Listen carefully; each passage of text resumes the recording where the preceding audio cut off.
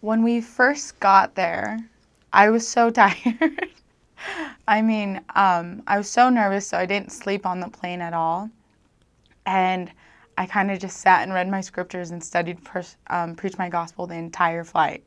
And then we touched ground, and I didn't know this beforehand, but as soon as you just show up, you take a picture by the, or you take a picture by the, the ocean with the Sydney Opera House behind you. And so, I mean, all of us missionaries are so tired, we're so drained. A lot of us traveled for over 24 hours.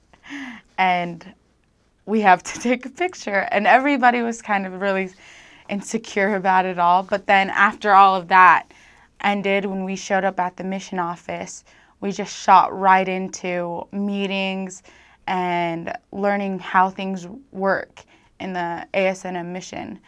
And so it was kind of just a go, go, go feeling straight from the, the get go.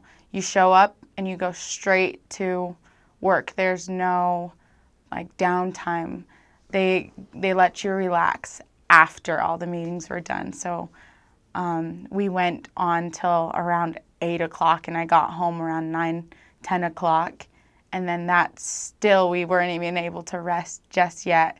We shot straight into daily planning um, to plan for the next day, and then we got to rest. And so that was my first impression of of that mission was that it's just you're here to serve, and so you serve right away.